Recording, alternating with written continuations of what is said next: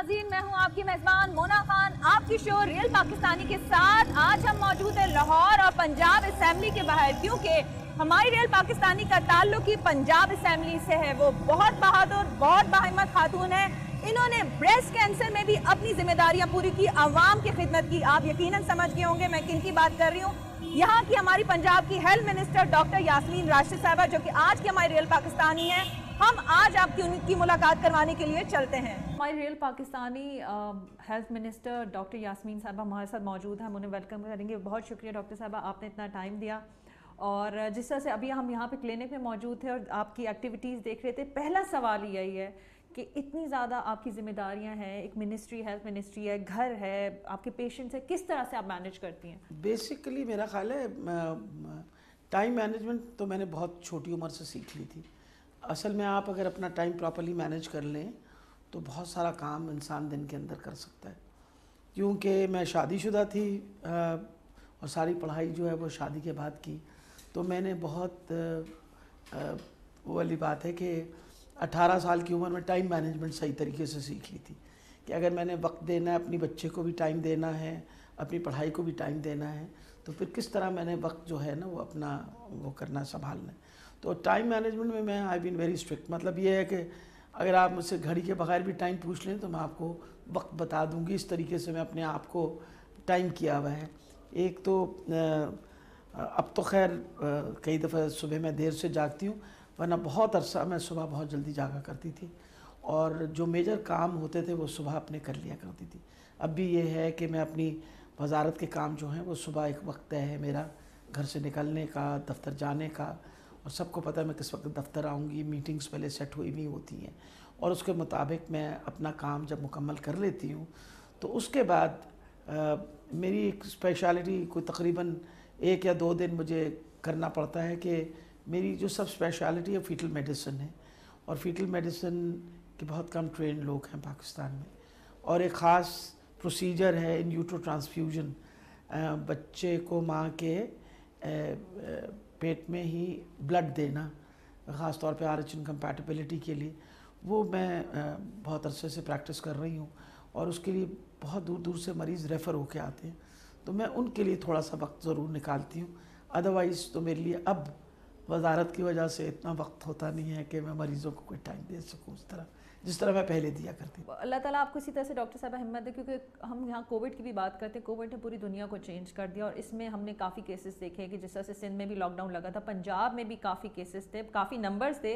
लेकिन यहाँ हम पंजाब हुकूमत और आपकी मिनिस्ट्री को तारीफ़ करना चाहेंगे जिस तरह से उन्होंने इकदाम किए क्या कहना चाहेंगे इस हवाले से आप? मेरा ख्याल जो बहुत अहम चीज़ थी वो ये है कि परसीविंग और टेकिंग स्टेप्स बिफोर टाइम जो अहम बात थी वो ये थी कि हमें पता था कि ये एक बड़ा इन्फेक्शस डिज़ीज़ है, एक इन्फेक्शन वायरल इन्फेक्शन है। और मुझे अभी तक याद है कि जब पहला केस आया है पंजाब के अंदर, मार्च 2020 के अंदर तो ऑलरेडी इसके ऊपर मैंने ये कहना शुरू कर दिया था कि हमें हर हाल पे कुछ वक्त चाहिए होगा कि हम अपने जो इंफ्रास्ट्रक्चर उसको इम्प्रूव करें। क्यों हमारे पास शायद वो कैपेसिटी ना हो डील करने के लिए, जिस तरह और मुल्कों में है तो हमें कुछ वक्त चाहिए। और वो जो एक पहले छः हफ़्ते की हमने वो वक्त लिया था, यानी आपको पता लॉकडाउन हुआ था और उसके अंदर, उसमें हमने एक चीज़ इंश्योर की थी। नंबर वन हमने अपना इंफ्रास्ट्रक्चर इम्प्रूव किया। नंबर टू हमने इंश्योर किया कि जो बाहर से लोग आ रहे थे, वो प्रॉपरली क्वारंटीन हो, ताकि इन्फेक्शन जब निकली है तो इतनी स्लोली स्प्रेड हुई है कि हमारे लिए कंट्रोल करना उसको कंपैरेटिवली आसान था। आपके सामने है कि तफ्तान से लोग आए तो डीजी खान के अंदर उनके लिए क्वारंटीन सेंटर्स बने, मुल्तान के अंदर उनके लिए क्वारंटीन सेंटर्स बने। बाहर से जो लोग आ रहे थे, उनकी बाकायदा उनको होटल पे रखा जाता था, उनके टेस्ट किए जाते थे। जब वो नेगेटिव होते थे तो तब उनको घर जाने दिया जाता था। अगर वो पॉजिटिव होते थे तो उनको क्वारंटीन उस वक्त लोगों ने बहुत शोर मचाया और बहुत नाराज़गी का इजहार किया। लेकिन वो जो छः हफ़्ते थे शुरू के छः आठ हफ़्ते, जिसमें हमने ये कंट्रोल पाया, उसका हमें फ़ायदा बहुत हुआ। फ़ायदा ये हुआ कि आहिस्ता आहिस्ता जिस तरह डिज़ीज़ फैली तो उसको उस पर यानी पकड़ करना उसको आसान हो गया। डॉक्टर साहब, मैं आपकी बातें सारी सुन भी रही थी। इसमें आपने अपने पेशेंट्स के लिए भी काम किया, आवाम के लिए भी किया, लेकिन सबकी सेहत के लिए काम करते करते आपको भी सेहत के इश्यूज़ रहे हैं और नो डाउट सबको सबको पता है कि जो कैंसर का आपको पता चला और आपने हिम्मत नहीं हारी और आप लगी रही। वो हिम्मत किस तरह से आई, किस तरह से आपने उस चीज़ को फेस किया और माशाल्लाह, अल्हम्दुलिल्लाह, अभी भी आप काम कर रही हैं। क्या कहना चाहेंगे आप? इंसान हूँ मैं, पहले दो दिन थोड़ा सा ज़रूर ठिटकी लेकिन उसके बाद मैंने दिल में ये सोचा कि सारी ज़िंदगी जिन चीज़ों पे अपने मरीज़ों को हमेशा एडवाइस करती रही काउंसिल करती रही तो मैंने अपने आप को भी उसी तरह एडवाइस और काउंसिल किया। और ये बातें जो हैं मैं मेरा ये ख्याल है कि जो सबसे पॉजिटिव चीज़ थी मेरे लिए वो ये थी कि एक तो मेरी खुशनसीबी ये थी कि मेजॉरिटी जो मेरे डॉक्टर्स थे वो सारे मेरे स्टूडेंट्स थे। और बीइंग माय स्टूडेंट्स वो बहुत ज़्यादा सिंपथेटिक और बड़ा उनका मेरी तरफ़ एक पॉजिटिव रवैया था और बड़ा इंकरेजिंग और बड़ा उस किस्म का। I mean I even felt कि as a patient they were looking up at me मतलब जैसे बतौर teacher look up at me तो मुझे लगता था कि बतौर पेशेंट भी they want me to be a model patient तो मुझे अभी तक याद है कि मैं अपनी कीमो के बाद ना मैं उसमें व्हील चेयर में बाहर नहीं जाती थी। मैं हमेशा हंसती थी। डॉक्टर शफकत भी मेरे स्टूडेंट हैं जो ऑन्कोलॉजिस्ट वो मुझे नीचे तक छोड़ने जाया करते थे तो मैं उसको कहा करती थी कि बेटा, मैं चलती रहूँगी ना तो एक तो मैं खुद हिम्मत करूँगी और मेरे चलने से और लोग भी हिम्मत लेंगे। तो मेरा ख्याल है ये चीज़ें जो थी, उनका मेरे पे एक बड़ा पॉजिटिव असर हुआ। एक तो ये था काम इतना बहुत सारा था कि जब मैं कीमो लगवा के आया करती थी तो इतने बहुत सारे कामों में मसरूफ़ हो जाती थी कि अपनी तकलीफ़ जो है, वो बहुत हद तक पीछे रह जाती थी। तो मेरा ख्याल है एक ये भी वजह थी और दूसरी बात ये है कि बतौर डॉक्टर सारी ज़िंदगी लोगों को स्ट्रेंथ थी तो अपने लिए फिर वो स्ट्रेंथ लेना I think it was easier for me as compared to naturally knowledge मेरी जब इंसान की नॉलेज भी ज़्यादा होती है तो फिर आपको बहुत सारी चीज़ों का ज़्यादा पता होता है। लेकिन I think overall it's difficult to say मैं तो ये कहूँगी कि दुआएँ थी फिर अल्लाह ताला ने हिम्मत भी दी। मैं आपकी बातें जब सुन रही थी जो लोगों ने मोहब्बत का इजहार किया ये मोहब्बत ही थी जिसकी वजह से आपने इसका मुकाबला किया है। इतनी मोहब्बत का इजहार लोगों का लोगों की परेशानियाँ मैं तो परेशान अपने वो मैसेजेस पढ़ पढ़ के परेशान हो जाया करती थी। मैं ये क्या कहती थी कि मतलब इतने पुराने मेरे मरीज़ जिनके बच्चे जवान हो गए थे, उनके टेलीफोन आने शुरू हो गए मुझे और मुझे कहते थे कि हम आपकी तरफ़ जब देखते हैं तो आप ये सोच लें कि हम आपके लिए दिन रात दुआएँ मांग रहे हैं। तो मेरा ख्याल इतनी जब दुआएँ किसी बंदे के साथ हो तो फिर ऐसी चीज़ों के साथ डील करना जो है, ऐसी आफतों के साथ डील दूसरी बात है, एक और बात इसको मैं समझती हूँ। मैं सोचती हूँ, जब कोई बीमारी आती है तो ये भी एक आपके ऊपर आजमाइश है। ये अल्लाह ताला आपको एक इम्तिहान से गुजारता है। अब डिपेंड करता है आप कैसे इस इम्तिहान में से गुजरना चाहते हैं। और ये बात पक्की है कि आप कैंसर जैसी मुजी मर्ज में अगर मुबतला हों और अगर पॉजिटिव फ्रेम ऑफ़ माइंड ना रखें आप तो फिर आपको बहुत तकलीफ़ देगी। If you keep a positive frame of mind कि I am going to fight it every day कि हर दिन मैं इसके ख़िलाफ़ जंग भी करूँगी तो फिर आसान हो जाता है काम। आपको इसी तरह से सेहत दे, डॉक्टर साहबा। हम जब बात करते हैं तो ये जिस तरह से हमें ये भी बताया कि आप जिनने 16 साल की उम्र में सियासत जो है अपने सियासत का आगाज़ कर दिया था स्टूडेंट लाइफ में, क्योंकि आपको बहुत शौक़ था और फिर अपनी यूनिवर्सिटी में भी कॉलेज में भी काफ़ी एक्टिव रहीं सियासत के हवाले से। अगर आप देखें अब से लेके उस जो सिलसिला आपने उधर की यूनिवर्सिटी या कॉलेज की जो सियासत से लेके अब तक की देखते हैं, उस मिशन को देखते हैं, आप क्या समझती हैं कि जो मिशन था आपका, जो आप करना चाहती थी, उसी तरह से क्या आपने अचीव किया है? मैं तो अपने आप को सोचती हूँ कि अल्लाह ताला से जिस चीज़ की ज़िंदगी में ख्वाहिश की, अल्लाह ताला ने मेरी ख्वाहिशें पूरी की और मैं हर वक्त उसका शुक्र अदा करती रहूँ तो वो कम है। वजह यह डॉक्टर बनने का शौक़ था। अल्लाह ताला ने मेरी वो ख्वाहिश पूरी की। फिर स्पेशलाइज करने का शौक़ था। स्पेशलाइजेशन मैंने अपनी कर ली। फिर फीटल मेडिसिन का मुझे शौक़ था कि मैं फ़ीटल मेडिसिन डेवलप करूँ। और अल्हम्दुलिल्लाह फ़ीटल मेडिसिन मैंने पाकिस्तान में डेवलप की। इस दौरान में मैं सियासत अपनी मेडिकल में सियासत करती थी। और एक उसका नुकसान ज़रूर होता था। लोग सोचते थे कि, क्योंकि मैं सियासत करती हूँ तो शायद कमी डॉक्टर हूँ। स्पोर्ट्स में तो मैं from day one I was very much involve as a young child भी मैं बहुत शौक से स्पोर्ट्स किया करती थी। सीरियसली जो मैंने स्पोर्ट्स की हैं वो टेबल टेनिस मैंने खेली पाकिस्तान के लिए और यूनिवर्सिटी के लिए मैं खेला करती थी बास्केटबॉल स्विमिंग करती थी टेबल ये लॉन टेनिस खेलती थी। तो मुझे स्पोर्ट्स का तो बहुत शौक़ रहा है हमेशा। और शायद स्पोर्ट्स की वजह से ही एक ख़ास आपके में अंदर एक इनर स्ट्रेंथ आ जाती है।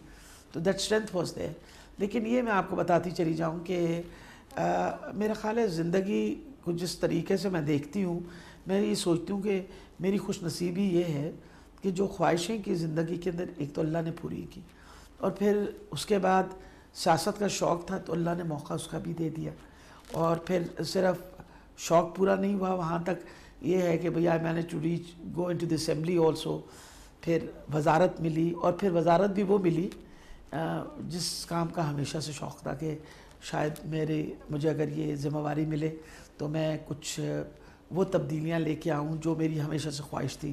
जिस ज़माने में मैं पी एम ए की सदर थी तो मैं सोचती थी, हम ये करें तो इससे फ़र्क पड़ेगा, ये करें तो इससे फ़र्क पड़ेगा। तो वो सारे मौाक़े मिले। आज अलहमदिल्ला आपको पता है कि नौ नए हस्पताल बन रहे हैं, चार अगले साल हमारे पूरे हो रहे हैं और वो मदर एंड चाइल्ड हॉस्पिटल्स हैं। लोग सोचते हैं कि शायद मैं क्योंकि गायनाकोलॉजिस्ट हूँ तो शायद इस वजह से मदर एंड चाइल्ड हॉस्पिटल्स बना रही हूँ। बिल्कुल नहीं। मदर एंड चाइल्ड जो है, वो बेसिकली सबसे बड़ा हमारा मसला है पाकिस्तान के अंदर। सबसे ज़्यादा माएँ जच्चगी में फौत होती हैं। बच्चे जो है, नौमौलूद बच्चे, उनकी फौतगी के रेट बहुत ज़्यादा है। अगर हम इंस्टीट्यूशनलाइज डिलीवरी करेंगे उनकी तो तब सिर्फ़ चांसेस हैं कि हालात जो हैं वो अच्छे होंगे। और इसी, इसलिए मैं तो I was very happy that we have manage to start these hospitals दो अस्पताल मदर एंड चाइल्ड हमारे अगले साल पूरे हो रहे हैं। मियाँ वाली का मदर एंड चाइल्ड गंगाराम जो हमारा लाहौर में बन रहा है वो।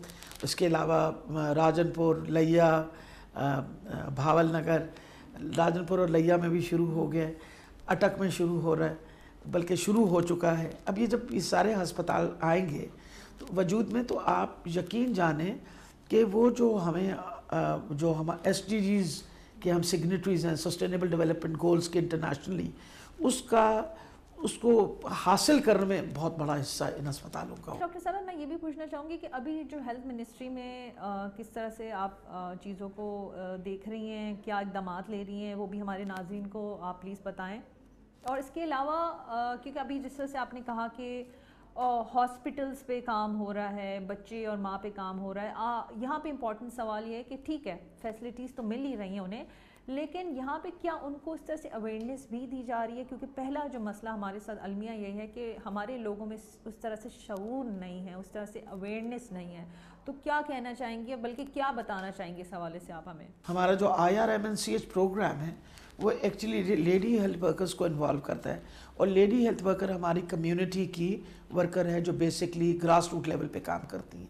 वो इंश्योर करती हैं कि हर हामला खातून जो है, उसका एंटीनेटल हो, उसकी डिलीवरी जो हो, वो किसी इंस्टीट्यूशन में हो।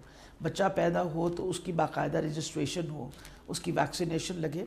ये तो हो रहा काम। और वो ही हैं जो हेल्थ की एजुकेशन भी मुसलसल देती हैं। So I think it's going to be दूसरी इंपॉर्टेंट चीज़ है कि आपको पता खान साहब की विज़न है कि हम आ, अब सौ फ़ीसद आपको पता card hundred percent health card मिलने लगे हैं हर फैमिली को। आ, और उसके अंदर बहुत बड़ा हिस्सा जो है वो डिलीवरीज़ का सजेरियन सेक्शंस का कि किसी खातून को ये ना हो वो अच्छा इलाज इसलिए ना करा सके कि उसके पास पैसे ना हो। तो उसके लिए इंश्योर किया जा रहा है आपको पता है कि दस लाख का कार्ड जो है वो इन दिसंबर से शुरू अच्छा डॉक्टर साहब अभी अभी आप हेल्थ कार्ड की बात कर रही थी आ, वैसे मैं उस उस वक्त मौजूद थी जब आ, हमारे वज़ी अजम इमरान खान साहब ने तीन साल कारकर्दगी पे बात की थी हेल्थ कार्ड के हवाले से के पी के को भी जिस तरह से हेल्थ कार्ड दिया गया पंजाब में भी बलोचिस्तान। यहाँ पे हमारे यहाँ है हम भी स्टिल ये सवाल वहाँ पे किसी ने किया था कि सिंध को कब हेल्थ कार्ड मिल सकते हैं? तो ज़ाहिर सी बात है, बहुत ज़बरदस्त ये बहुत ज़बरदस्त ये कदम है इस हवाले से, हेल्थ कार्ड के हवाले से, क्योंकि बेसिक इशू ही यहाँ पे सेहत का रहता है। गरीब तबके की बात आप रहने दें, अगर किसी दरमियाना तबके के बंदे के घर भी कोई बीमारी आ जाए तो बहुत बड़ा बोझ होता है बीमारी। और मेरा ख्याल है, इमरान खान साहब की जो ये विज़न थी कि हम हर बंदे को, हर फैमिली को कार्ड दे दें ये बड़ी इंपॉर्टेंट है। ये आपको इस बात का एहसास वक्त देगा कि किसी बंदे के घर में जब बीमारी आती है, पैसे ना होने की वजह से प्रॉपर इलाज नहीं हो सकता। फिर सबसे बड़ी ये बात है कि कर्ज़े लिए जाते हैं, फिर इनको हम हेल्थ शॉक्स कहते हैं। And recovery from health shocks becomes very difficult अब तो देखिए, हुकूमत जिम्मेवारी ले रही है कि अगर आप सरकार के अस्पताल में नहीं तो निजी अस्पतालों में जाके ये कार्ड है आपके पास। आप अपना इलाज करें। अभी आज डॉक्टर साहब मेरे पास बैठे हुए थे।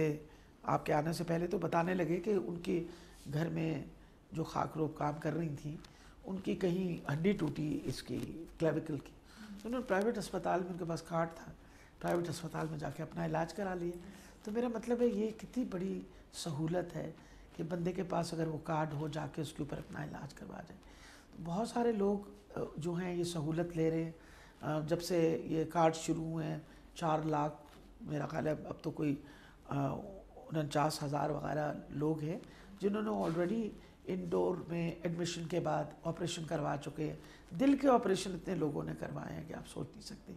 यानी स्टेंट्स डलवाने और बिल्कुल फ्री ऑफ़ कॉस्ट डॉक्टर साहब, जब मैंने आपकी गुफ्तु हम जिससे मैं सुन भी रही थी और सोच भी रही थी कि ज़िंदगी में आपने जो चाहा, अल्हम्दुलिल्लाह, अल्लाह ताला सब पे मेहरबान होता है, वो हमेशा आपको मिला। इसके पीछे क्या है? इसके पीछे ये भी हमें पता है कि आपने एक टाइम दादा दादी के साथ गुजारा है क्या बड़ों की बहुत सारी दुआएँ इकट्ठी कर ली थी आपने, या फिर नो डाउट मेहनत तो की है जस्तजू होती है तो इंसान वो हासिल कर लेता है।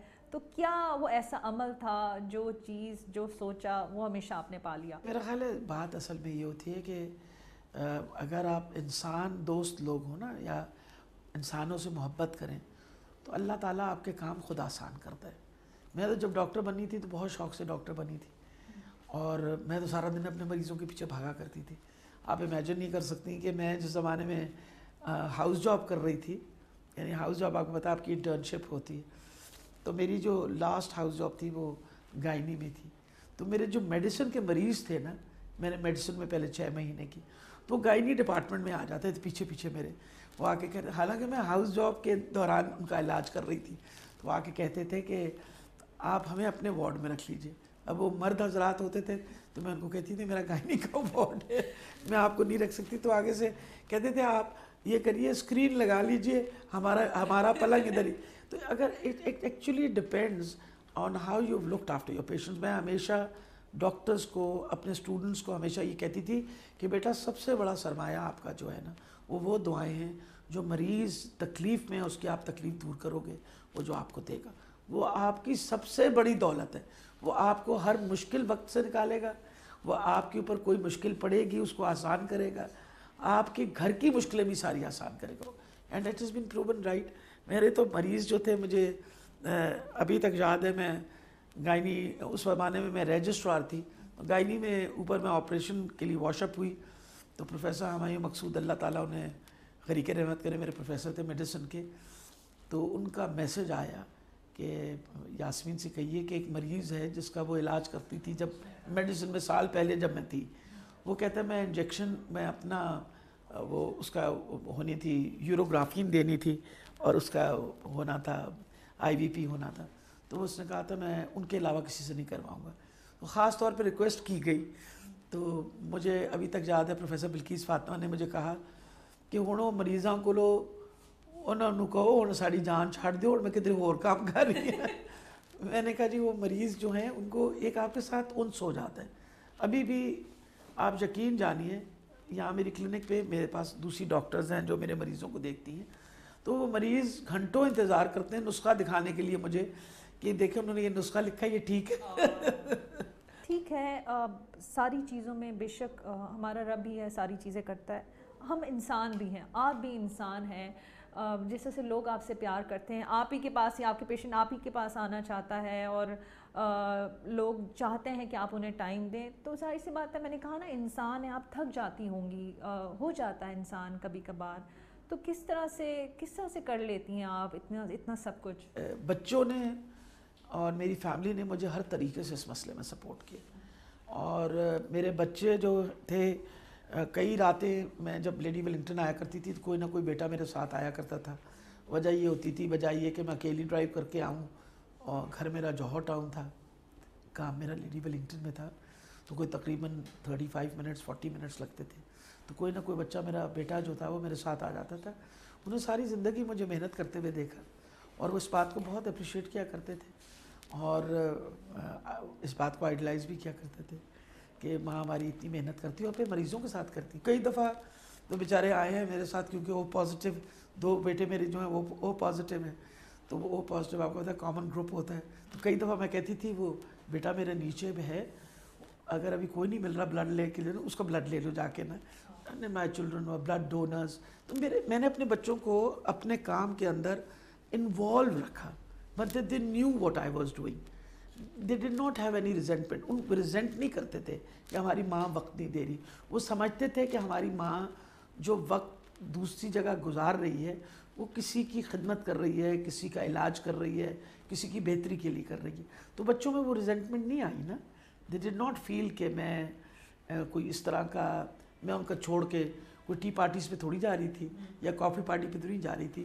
वक्त के, मैं अपने मरीजों के पीछे जाती थी। मैं आप जब गुफ्तु कर रही होती मैं तो दिल में दुआ करती हूँ कि आप अल्लाह ताला आपको इस, इसी तरह से हमेशा रखे। जिस तरह से आप एक रोल मॉडल हैं पूरे पाकिस्तान के लिए पूरे पाकिस्तान में बसने वाली ख़वातीन लड़कियों के लिए। तो हम ज़रा विमेन एम्पावरमेंट की भी बात करते हैं। आप क्या समझती हैं कि पाकिस्तान में आज जो लड़की आज जो औरत करना चाहती है उस तरह से वो कर सकती है या नहीं कर सकती क्योंकि आपने भी एक एक सफ़र तय किया है आप भी आपने भी करके दिखाया क्या कहना चाहेंगे आप? देखिए मेरा ख्याल है कर तो सकती हैं लेकिन ज़रूर ख़वातीन जो हैं उनको मुश्किल का सामना करना पड़ता है। देर इज़ ऑलवेज़ वो वाली बात है कुछ ना कुछ ऑब्स्ट्रक्शन होती है। फीमेल्स को हमेशा कमज़ोर समझ के अ, मर्दों को ज़्यादा अपॉर्चुनिटी और चांसेस मिलती है विच इज़ नॉट फेयर और क्योंकि अगर हम बेबी में देखें ना तो जो मेल बेबी होता है ना, वो कमज़ोर होता है compare to female baby female baby की सर्वाइवल के चांसेस हमेशा मेल बेबी से ज़्यादा होते हैं. You must remember that females are comparatively more tough और इन चीज़ों को समझना चाहिए कि देखें, इतनी बड़ी आपकी पॉपुलेशन है बाईस करोड़ की. आधे मर्द हैं, आधी औरतें हैं. तो उसका मतलब है आपकी आधा, आधी फोर्स जो है ह्यूमन रिसोर्स जो है, वो अंडर यूटिलाइज है. इसलिए जो ख़वातीन पढ़ लिख के और वो आ रही हैं आगे, उनको इनक्रेज करना चाहिए, उनको अच्छी पोस्टें ज़रूर मिलनी चाहिए। और यकीनन, मैं आपको बता रही हूँ, आप खुद देखिए जब से मेडिकल कॉलेजेस में इन्होंने किया है कि भाई ओपन एडमिशन है सबके लिए तो लड़कियों की तादाद ज़्यादा होगी लेकिन लड़कियों से फिर मेरा गिला भी है कि जब आप डॉक्टर बन गई हैं और इतनी इतनी एक अहम पेशे में आ गई हैं तो फिर आप इस पेशे को छोड़िएगा नहीं। ये नहीं कि शादी हो गई, बच्चे मेरे पास वक्त नहीं है। इंसान अपने इस, ये पैगम्बरी पेशा इस पेशे के, को प्रैक्टिस करने के लिए आपको वक्त निकालना पड़ेगा। क्योंकि आपके इस इस प्रोफेशन की वजह से लोगों को फ़ायदा पहुँचता है। लोगों का इलाज होता है। लोग जो हैं वो सेहत याब होते हैं। तो ये कितना बड़ा पेशा है। यानी मैं तो जब मैं कहती हूँ ना, लोगों को कहती हूँ, मैं कहती हूँ, इससे बड़ी क्या किसी की खुश नसीबी हो कि आपको मसीहा से वुमेन एम्पावरमेंट की तो आपने बड़ी प्यारी बात की, लेकिन आप खुद पॉलिटिशियन भी हैं पॉलिटिक्स से गहरा ताल्लुक है। इस हवाले से भी बताएँ कि आप क्या समझती हैं कि आजकल की जो बच्चियाँ, लड़कियाँ पॉलिटिक्स में सियासत में आना चाहती हैं ऑब्वियसली बात है, क्योंकि ये भी खिदमत करने का तरीका होता है, आवाम में जाना और उनके लिए कुछ करना। आप समझती हैं कि लड़कियाँ आ सकती हैं पॉलिटिक्स में और अच्छी पॉलिटिशियन बन सकती हैं अगर सियासत में उस तरह से उन्हें वेलकम किया जाता है। मैं अ, अब आपको पता है कि अपनी पार्टी में एक सबसे अहम कलमदान जो है पंजाब का एक खातून को ही दिया है ना खान साहब। तो वो समझते हैं कि I can take up that responsibility तो मेरा ख्याल है कि जैसे जैसे ज़्यादा औरतें आएँगी सियासत के अंदर और औरतों को कंटेस्ट करना चाहिए इलेक्शन इलेक्शन ज़रूर कंटेस्ट करना चाहिए डेफिनेटली और मैं ये आपको बताऊँ कि इन जैसे आप देखें पाकिस्तान में पे, इंडिया में तो भी फाइटर पायलट्स नहीं आई हमारी ख़वातीन फाइटर पायलट्स बन गई हैं। तो हमारी औरतें जो हैं वो माशाल्लाह अल्लाह की मेहरबानी से बड़ी टैलेंटेड हैं और कमर्शियल पायलट लाइसेंस होल्डर्स हैं कमर्शियल एयरलाइंस उड़ाती हैं फ़ौज में हैं एयरफोर्स में हैं नेवी में है हर तरफ़ ख़वातीन ने ज्वाइन कर लिया है। तो मेरा ख्याल है ख़वातीन को उनकी सही स्पेस ज़रूर मिलनी चाहिए। आ, किसी भी कौम की तरक्की जो है वो कभी मुकम्मल नहीं हो सकती जब तक आप ख़वातीन को मौाक़े ना दें। बहुत शुक्रिया, डॉक्टर साहबा। आपने इतना कीमती टाइम दिया। आई नो आपके पेशेंट्स बाहर हैं, लेकिन लकीली आज हमारे साथ मौजूद हैं। अक्टूबर भी है इस इस मंथ में। ऑब्वियसली बात है ब्रेस्ट कैंसर के हवाले से। हम ख़वान को अवेयरनेस भी दे, देते हैं और आपका एक एक्सपीरियंस भी रहा है। तो कोई ऐसी बात, कोई ऐसी मैसेज हमारे नाजरन के लिए ताकि वो देखें और सुने उस पर अमल कर सकें तो मैं चाहूँगी कि प्लीज़ कोई मैसेज आप दें। जी, जहाँ तक कैंसर ब्रेस्ट है सी ए ब्रेस्ट जो है या छाती का सरतान जिसको कहते हैं, वो इस वक्त पाकिस्तान में सबसे कॉमन कैंसर है। और क्योंकि सबसे कॉमन कैंसर है ख़वान को बहुत ख्याल रखना चाहिए। कोई ज़रा सा भी लंप महसूस हो या छोटी सी कोई गिल्टी महसूस हो तो इमीडिएटली डॉक्टर के पास जाना चाहिए। मैं ऐसी भी बच्चियों को जानती हूँ जिनकी उम्र पैंतीस साल है, तीस साल है, चालीस साल है, जिनका डिस्कवर हुआ है। अच्छी बात ये समझने की है कि अगर ये अर्ली स्टेजेस में कैंसर पकड़ा जाए तो इसका बहुत अच्छा इलाज हो सकता है। बच्चियों को और औरतों को अपना, अपनी सेहत के बारे में बहुत ख्याल रखना चाहिए। और जिस तरह मैंने आपको बताया कि छाती का सरतान जो है, क्योंकि कॉमनेस्ट है, हमें बहुत ज़्यादा ख्याल रखना चाहिए, ख़ास तौर पे अगर कोई गिल्टी महसूस हो, कि इसको बिल्कुल आपने इग्नोर नहीं करना। जल्दी से जल्दी डॉक्टर को दिखाइए और अपने टेस्ट करवाइए। ताकि अगर खुदा न खास्ता, खुदा न खास्ता सरतान निकले तो जल्द से जल्द उसका इलाज हो सके। बहुत शुक्रिया, डॉक्टर साहबा। आपके वक्त का, इतनी कीमती बातों का यकीन माने जो बात आपने की, मैंने भी आज सीखी है। और मैं अपने नाजिन से कहना चाहूँगी कि ये थी हमारी रेल पाकिस्तानी जो अपनी हिम्मत से, अपनी लगन से लगी हुई होती हैं। अगर आप एक होता है ना किसी इंसान को क्योंकि इस एज में हम ये नहीं कर सकते, ऐसा कुछ भी नहीं है। आपको हिम्मत करनी है, आपको गिव अप नहीं करना, आपने खुदा पे यकीन करना है। और मैं समझती हूँ, मैं ख़ुद भी खातून हूँ, हमारी आज रेल पाकिस्तानी भी एक खातून हैं। तो हमारी ख़वातीन भी पाकिस्तान को आगे ले जाने में भरपूर किरदार अदा कर सकती हैं। हमें चाहिए कि हम मिलकर अपने मुल्क के लिए खिदमत करें, काम करें। अपना बहुत ख्याल रखें। मुझे मोना खान को इजाज़त दीजिएगा, पाकिस्तान जिंदाबाद।